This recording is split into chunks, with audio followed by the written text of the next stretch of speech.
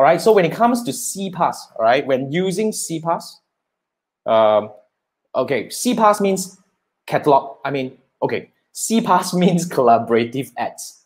Fundamentally, what is this all about is when you are selling on marketplaces like Shopee or Lazada, okay, what happened is if you have CPAS access, let's say Shopee, right, they are able to create a catalog based on all the products that you have on your Shopee store and share it to your ads manager. So what you can do next is you're able to retarget people who visited your products but did not purchase. So essentially, because this is really something that you can't do if you're driving traffic to your Shopee store and you don't have CPAS, because technically, when a person click over to your Shopee store, you lost control. You have no tracking mechanism and whatnot. But when you have CPAS, you can do that. So this question is about CPAS, right? So let's say when you're using CPAS and catalog sales as objective, there's no exclusion audience can be done.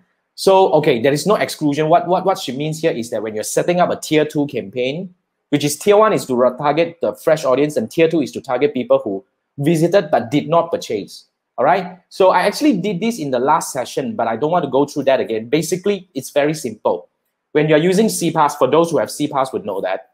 Okay, when you're doing your audience targeting using the catalog objective, inside the audience targeting, there are two options. One is to go for people who have engaged with your ad, which is the first option. The other one is to go for the fresh audience. Now, if you're using the people who have engaged with the ad or something, you know, you have the option to go for people who visited and added to cart but did not purchase in the last how many days, but you know, stuffs like that. When you go down to the last option, which is the customized combination, you're able to target people who have purchased or uh, who have who have done certain thing and have not done certain thing.